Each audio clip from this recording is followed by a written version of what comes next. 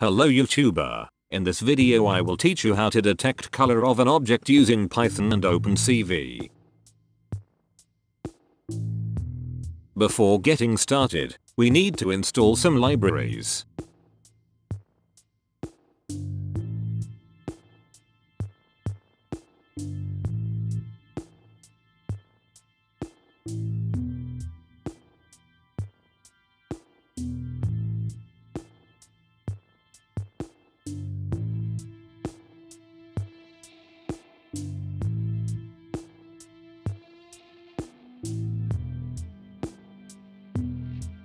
The first step is to import the required libraries. In our case, it is OpenCV and Color Thief.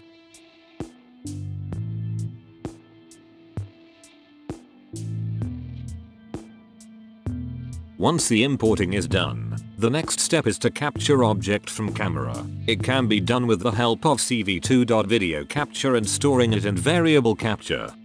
We will set up an infinite loop using while, and then we will use the read command on variable capture to get camera frames.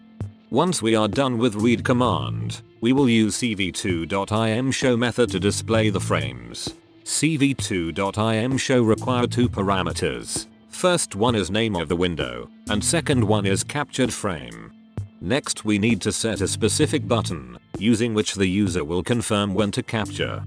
I am using S button to capture the specific frame. Before detecting the color, we have to save the captured frame using cv2.imwrite which accept two parameters. First parameter is name of the file and second one is captured frame. Once the frame is saved, we will pass the saved file through color thief method to get the RGB values. Finally we will print the RGB value and break the loop, and at last we will release and destroy all windows. Now run the script and try detecting the different colors. In my case, first I will check black color. If you like the video, don't forget to hit the like button and do subscribe this channel. You can check the RGB values on rapidtables.com.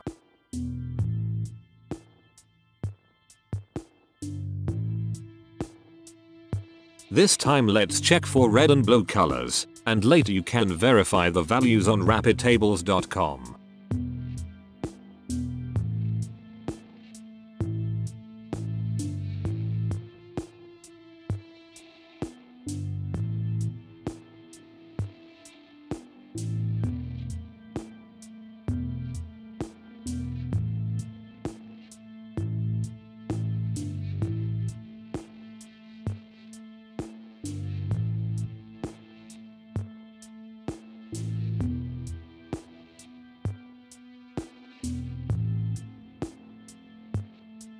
Thank you for watching this video. Don't forget to subscribe this channel for more content on Python and OpenCV.